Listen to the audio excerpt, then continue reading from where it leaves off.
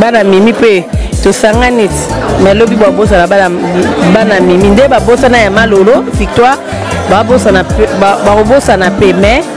na bolonga nzambe lelo j'espère baobosana kere na brandi te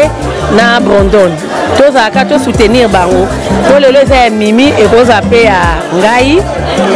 bon bucike batie bana combien mimi atiki bana misato e basi mibale mobali moko brondon lene de la famille après ya keren e brandi donc nde omonaka ye sourire na ye wana ndenge asekaka wana donc mimi cikebe aza bongo donc soki makambo ya kote kuna okende te okende te soki boyokana te okende te asalaka hypocrisie te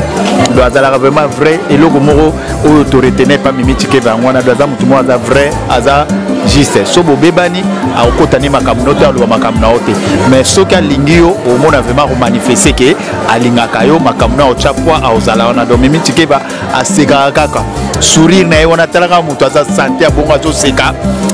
so tozotala baimage wana ezokorrespondre na liwa na ye te moni bato mosusu balaka akufi boyoki boyomona yango ah, ah, moto akei masi akei ah, akei mais sikoyo ntango tozotala mimi cikeva ndenge azoseka ndenge aza sante ndenge aza ekorrespondre na, na liwa te eh, do na temps oyo eyakei te do tosala nini volonta nzambe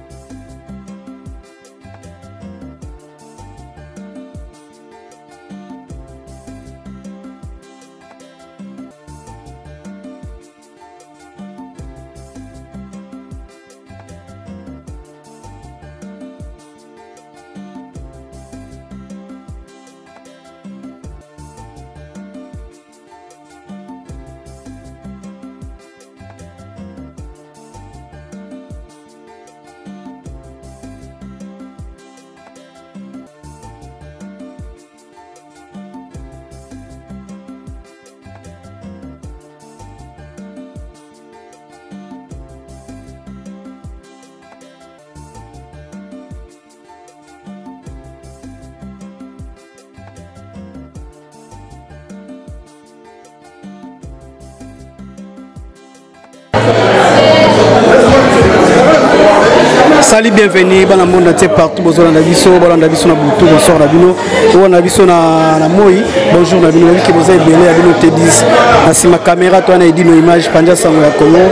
oyo aza koasime awa na kati ya matanga tona matanga ya mich keva na kati ya paris oyo ndeko na biso oyo aza mécène moko aza mpe oyo andaki kopesa ebele mpo na artiste na biso ya miziki na biso ya congo baweranson jube euh, piana ndenge ayo okoma te epai ya fali pupa oyo asali bato nyonso toyebi ndeko moko bien biso ozwaki mwa ntango ya kosala effort ya koswana nayebi ka interview na ngai suka nasalaki na ye ezalaka na sorti ya formule 7 formule 7 oyo bafetaki yango na euh, mk oyo eza na, na, na champs élysée kuna oyo kasi interview na ngai ya liboso nasala na mimi chikeva tobanda tanga mpe na basoirée donc euh, mpe ya sonama apema na kimia bandeko nyonso tu oyo baza bandeko na ye oyo mpe baza bacamarade na ye baoyo mpe baconnaissance baleki bayaya bamama topesi mboka nécessaire condolence a toa na kati ya paris tozwa interview ya bato bapesa bavi na bango par rapport ya ndeko na biso ya mwasi ndenge nini ya bando avanda na bato ndenge nini azalaki na bato ndenge nini banda kose comporter toyebi ke biso toza baafricain moto tolobaka mabe te toa mpe na mposa oloba mabe na ye te oyo asalaki mabe oyo asalaki malamu edepend na bato oyo nde bakoloba awa na kati ya interview oyo tokata moto moko to tosala interview tozwa bato presque nyonso to awa tokosala effort parce que bato baza telme ebele aza vraiment aimé mimi chikeva azalaki vraiment aimé aza aimé osentir ke paris eza, eza mobilise entrepreneur baza mobilise mpona koyamba corps na ye ndeti no toyoki ekoya déjà okowa ya semaine jeudi ou jeudi ou vendredi déjà ezala awa deja ba programme ya ligne donc tosala interview na biso na edino image tokozwa moto moko moko apesa avis na ye moto moto apesa impression par rapport à liwa na ye ezwaki ye wapi ekutana ye na ye wapi donc bato mpena bazolela bato mpena bazolela tobre de serre yaya mama oyo azali na bato nyonso tout bien awa na kati ya appareil topesi ba condoléance mingi na artiste na biso avatar Brandon, courage à toi, force à toi, nécessaire condoléances frérot. on est ensemble et d'une image panza sango ya Congo tozwa tozwa zwa tozwa zwa nayebi te soki tobanda libanda wana matanga tokufisi ya biso ya monene toza na ya fredi putu ya fredi putu euh, akopesa baimpressionne par rapport ya ndeko ne ya mwasi mimi chikeva tozalaki ne awa na kati ya paris ozala na ye ozala na ye omela na ye ovanda na ye okoloba nini mpona témoignage nini okopesa mpona mimi chikeva en tout cas euh, mingi akoloba eza te eza vraiment ba mingi ndenge sœur na biso atiki biso naza na batémoignage mingi mingi vraiment ya sœur na ngai mimi chikeva nyonso euh, eza kaka na sens moko ya bien parce que vraiment azalaki motu moko euh, ya bato quoi déjà un et ndenge tolobaka na lingala aza kosolola très très bien quoi donc euh, c'était une grande dame oyo azalaki toujours na écoute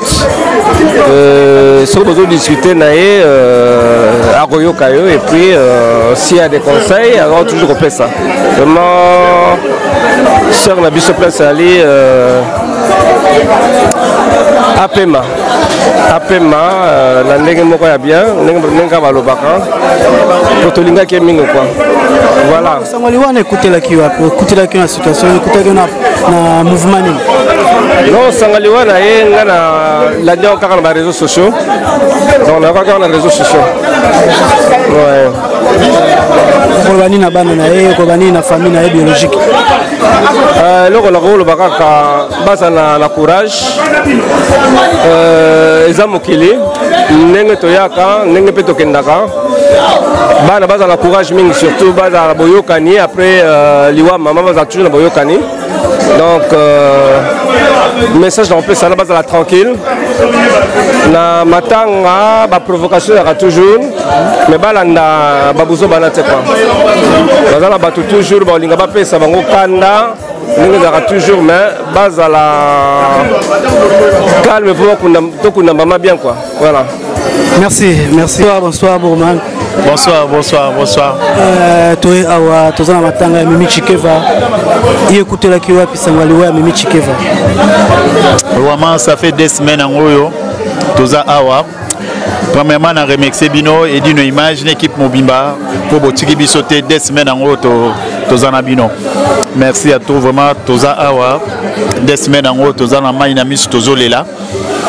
baorganisation ezokende kitoko d'ici lobi na pokwa déjà corps ekoya ezala kote oyo euh, vendredi samedi tozala na salle na épine euh, tokopesa baadresse donc makambo ezokende vraiment bien ekende ma bien baorganisation ekende kitoko ya motuya nini oyo na ntango azali na bomoi oyo e, oyo retena oyo mpe ozometeni ti lelo okeyobi keno soki likambo boyo eza mpona mimi chikeva nde eh, donc oyo oh, soki eza ke soki ovandi ah nakose rappele ah soki mimi azalaki okolobana mimi chikebe aza motu moko boye aza franc aza nde balobaka aza juste donc soki alingi motu alingaka motu vraiment mimi tutikebe aza très traité donc nayebi yango na makambo neti ya bamamiziki na makambo na biso tobeta ya mdodo mimi chikebe asoutenamo parapara à 100% donc sadik aza moto azalaka traitre te donc so aza moto ya moparapara aza wana moto ya moparapara aza vrai donc nde omonaka ye sourire na ye wana ndenge asekaka wana donc mimi chikebe aza bongo donc soki makambo ya kote kuna okende te okende te soki boyokana te okende te asalaka hypocrisie te donc azalaka vraiment vrai eloko moko oyo toretenir pa mimi chikebe yango wana donc aza motu moko aza vrai aza juste so bobebani akokota nde makambo no te aloba makambo na yo te mais soki alingi yo omona vraiment akomanifeste ke alingaka yo makambo na otya poids aozala wana donc mimi tikeba asekaka kaka sourire na ye wana atalaka moto aza sante ya bongo azoseka so tozotala baimage wana ezokorrespondre na liwa na ye te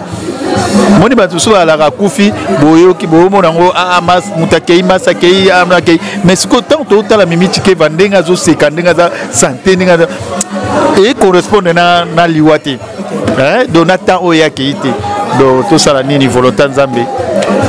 okoloba nini mpo na artiste na biso yo mpo oza artiste lokola fali pupa ozala nde na quartier latin oyo tomoni baeffort lelo asala effort ebele lelo mpo kora mimi chike bafe ezonga awa na kati ya europe avec maboko na motema du Cap la Merveille Aigle. Merci pour tout. Vraiment, à la Kisike, Mimi Chike Vaza, maman présidente, il y a Warrior, maman Mimi Chike Vaza, maman présidente, il y a victime. Donc, place to yeba ke, kozalaka na mutu, tango likambo ekweyi, il faut ça la bas geste. Donc, fali ipupa alakisi ke mimi chikeva asala mingi mpo na ye parce que mimi chikeva abandi kosala epai ya fali ntango fali akomi na orchestre te ah, towuta na mimi chikeva na quartier latin donc mimi chikeva abanda kosoutenir fali depuis na quartier latin ntango mpe fali asali mouvement na ye mouvement esimbi ekomi niveau ekosongo wana ma présidente azalaki kaka wana yango wana omoni aigle alakisi bolingo na ye donc ta wana nyonso basali na mimi chikeva donc aigle afuti yango donc kore ekoya ye moko mpe akompagne yango bomona ye mpe vendredi samedi na salle tozala na ye merci artiste mboshi lipasa bonsoir bonsoir mon frère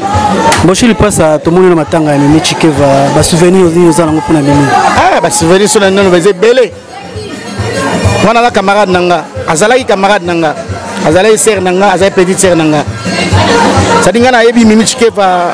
depuis 96 nanu kutu tege ya koya poto ayaka epa na biso mama na nga na papa na nga bayebaki ye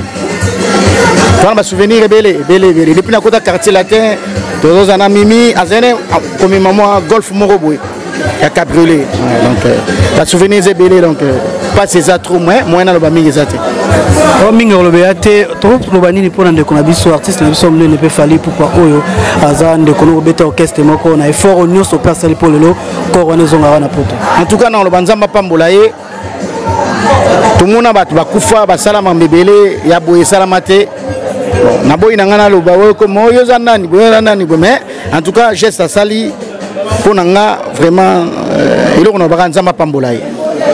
vraiment nzambe abakisela ebele ebele na oyo asali mpo lelo oyo soki bana mimi bakomona mama na bango bandeko ya mimi biso bandeko nde tokomona mimi ya suka eza nzambe grâce na ye mpe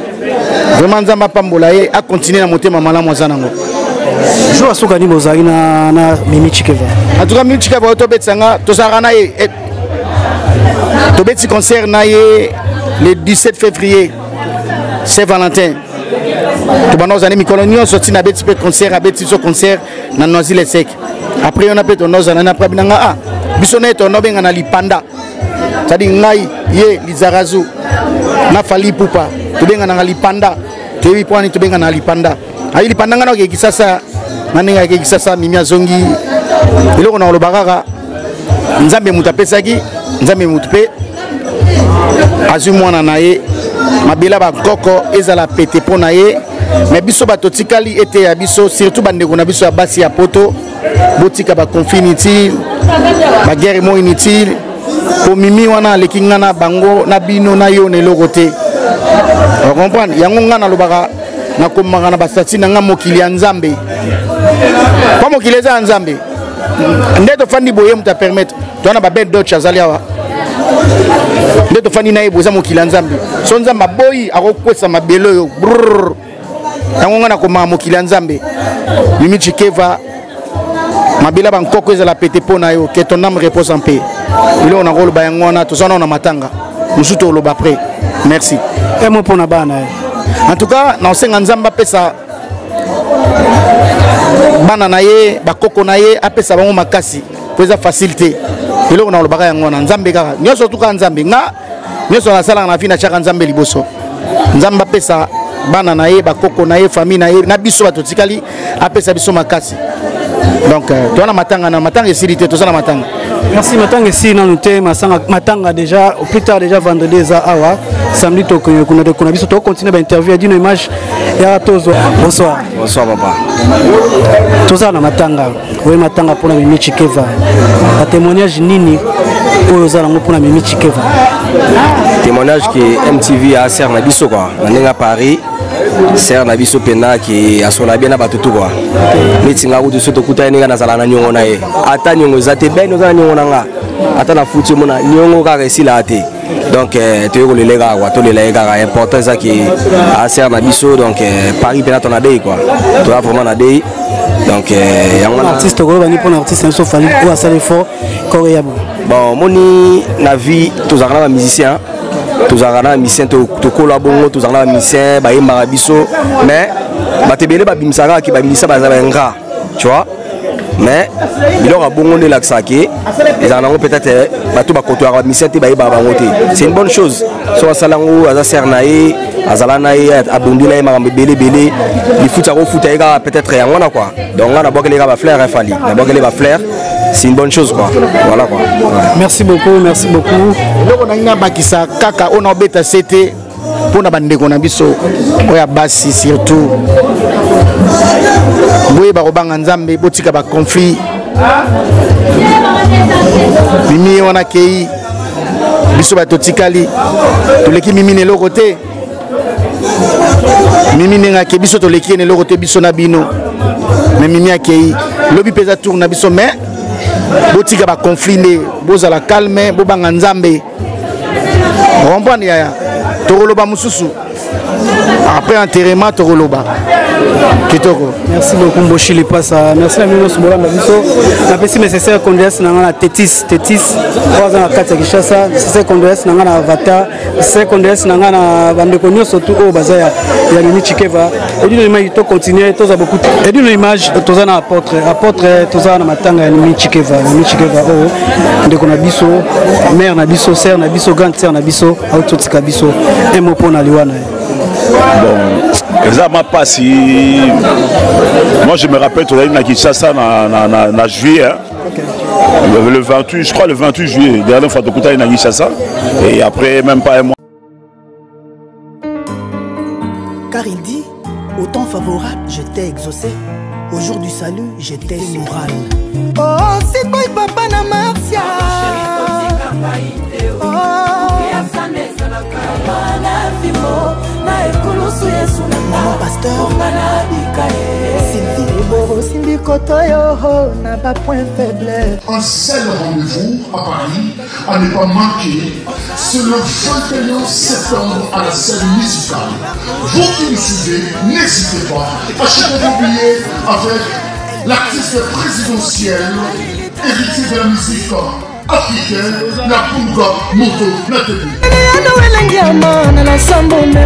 godar montemona nandimi nanga bapimelanga boko akufi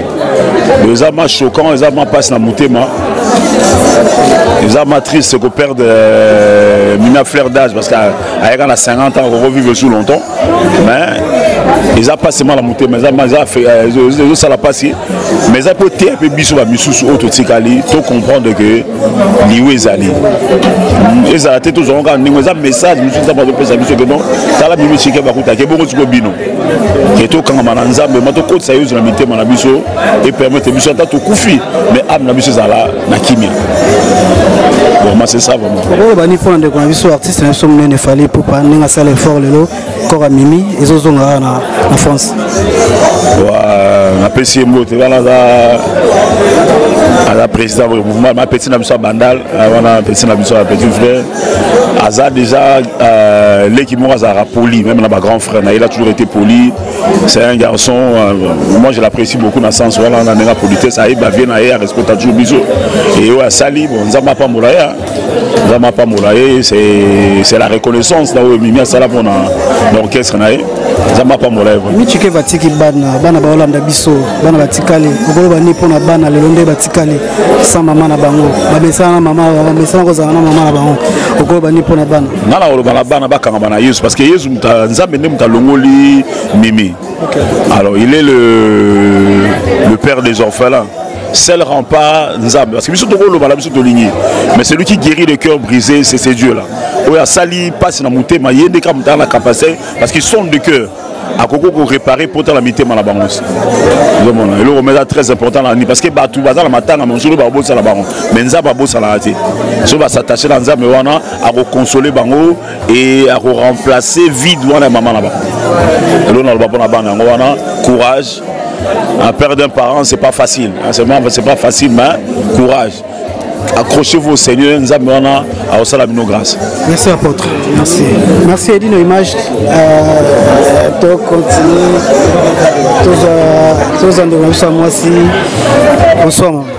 Bonsoir. Bébé Senzong. Oui. Vous allez bien Ouais, ça va. Vous avez matanga, grande sœur na yo, yaya na yo, maman leki, maman. Imi Chikeva, Tiki Bisso, sœur na bino. oyo tozalaki ngai na période ti kotika biso nayebi ke boza baémotion makasi okoloba nini mpona ye wana je manque emona omona eloko oloba eza te franchement yaka pasi tosololi le 15 na le 16 après euh... je manque le mot souvenir nini oza ebele kaka tozota moko te eza ebele eza ebele mpona bana tiki bana eloko wana kosengaka na pepe congolais tosala nde tokosaka mpo na malolo te ke eh, victoire atikali tosoutenir ye bana mimi mpe tosangani ti me lobi babosana bana mimi nde babosana ya malolo victoire bakobosana mpe mais na bolingwa nzambe lelo j'espère bakobosana kere na brandi te na brondon tozalaka tosoutenir bango mpo lelo eza ya mimi ekozala mpe ya ngai bon micike batie bana combien mimi atiki bana misato e Combien basi quand même Basi mibale, mobali moko, Brandon l'aîné de la famille. Okay. Après à Keren et Brandy. Pourquoi bani pour l'artiste na biso fallait pour pouvoir ça le fort que corps ya Mimi Chikeva ils ont en Europe.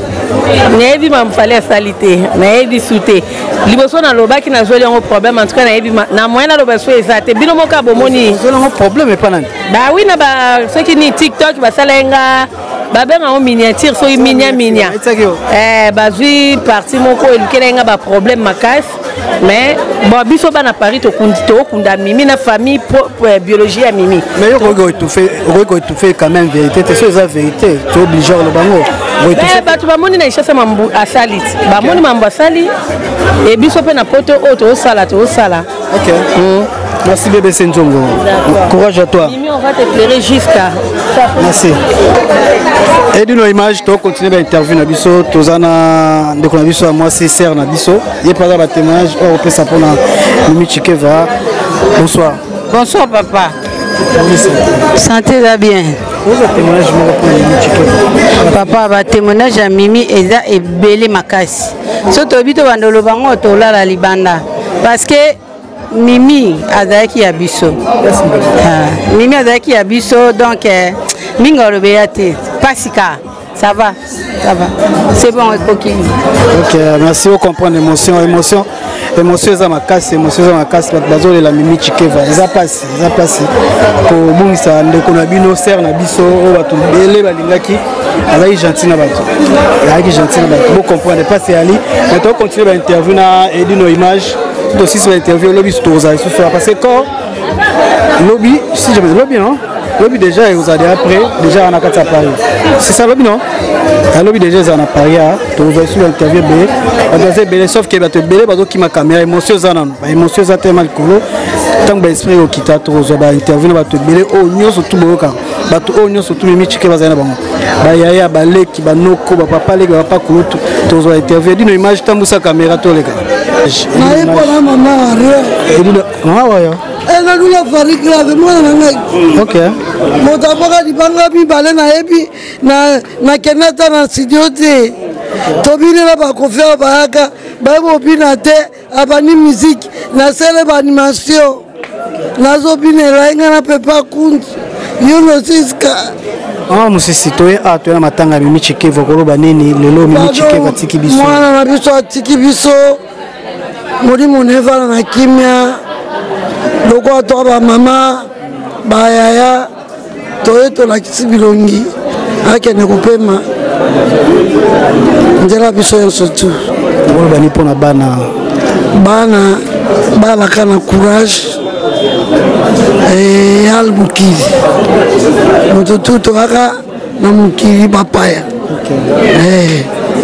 bana balaka na makasi bana courage lelo oyo tomoni mimi chikeva corne ezoya awa na ezozonga na poto yelobi na biso oza warrior oza warrior président na bino wa warrior fallait mpo pasali lelo effort corps ya mimi chikeva ezozonga awa na europe okoloba ni mpo na ye nalobi na fari amwana mayele asali bien moto abumeli ye bitumba azongisi ebembe na ye napesa ye longo ya makasi mingi basalaka yango te kasi asali nzambe apesa ye toujours courage apesa ye longue vie apesa ye santa bien atombola na makambo ne tout ekende liboso toujours mpo asali en tout cas likambo mingi ya koloba eza te yume awa na poto ese acte oyo fali mpo pasali eza na musicien moko déjà asala acte moko yango jamais namona musicien oyo asala bongo te tuto kuna mwana na biso benoite nayebi bato balala na ndako na ye alanda mwa mwana moko ya moke makambo ebele kaka basalaka te kasi fali nzambe apesa longue vie apesa santa bien na ye na libota na ye mobimba nasepelaka ndenge alandaka bato ya mokili te bafinga bafinga ye arepondaka te nasepelaka nango akontinue bongo bato bato oyo asali na eleki nyonso tu amoni te moto oyo ayaki na ngai akei asali oyo asali mobali alaka boye koloba ebele soki awuti koloba ke fali pupu abwaki yo deux fois oya kutu studio te nini esalaki ke abwaka okoma alingaki bamama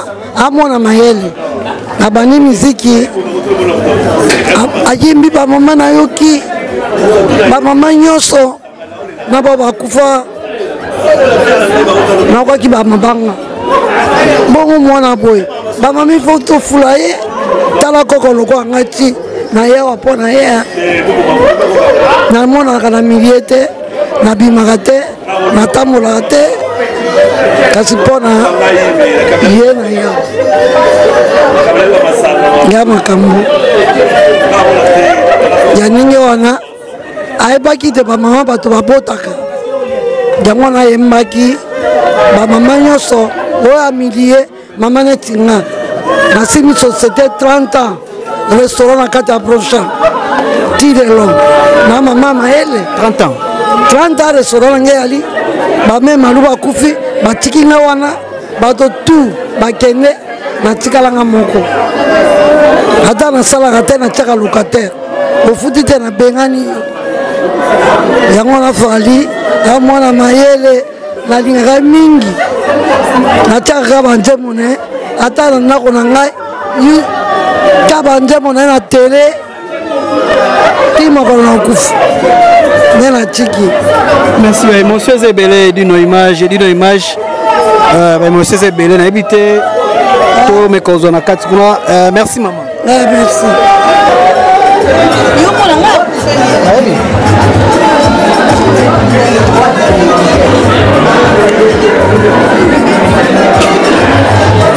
baémotion eza tellement ebele bato bazolela bazokontinue kolela donc ya mpasi ezali mpasi eza vraiment bandeko na biso ya basi bandeko na biso ya mibali baartiste bandeko tout baza baleki bayaya baye kolela mimi chikeva milchek milchek oyo asali ebele asali ebele na paris awa asali babiloko ebele na kati ya paris aide mpe bato ebele amemi mpe bato ebele na poto ezala ndenge ya famille ezala ndenge ya connaissance amemi bato ebele na mboka oyo donc euh, motu malamu baye bakei na baacte motu malamu baye bakei na makambo asali donc mimi chikeva asala ebele mpona bandeko mpe ebele baza na mboka oyo ya poto batemoignage eza ebele ya malamu kaka mpo na ye malamu kaka mpo na ye donki euh, nzambe apesa kaka makasi nzambe apesa makasi nayebi ke dino eh, image azozwela biso image azozwela biso bato partout place bazali bato partout bazali omona ndenge bato bazolela boyoka mpasi ezozala mitema ya bato mitema ya bato eza mpasi donc toza a kaka tozo continue kozwa image merci na bino nyonso tu bozolanda biso toza kaka a tozo continue tozwa bainterview ti na kati kuna edino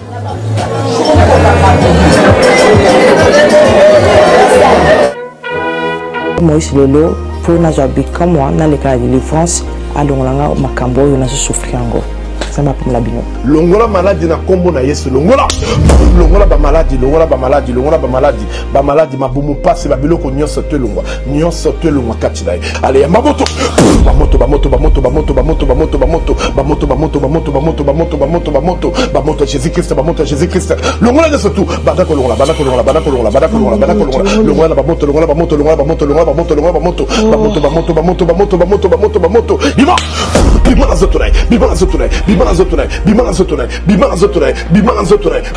Bozo zonga place bozalaka. Oyo ya mayi kota na mayi, oyo ya zamba kota na zamba. Ale bino tout bokende. Bino nionso tout bokende. Ale bino nionso tout bokende. Bokende, bokende, bokende, bokende, bokende. Namona bino lisusu na nzoto na ye te. Bima mobimba.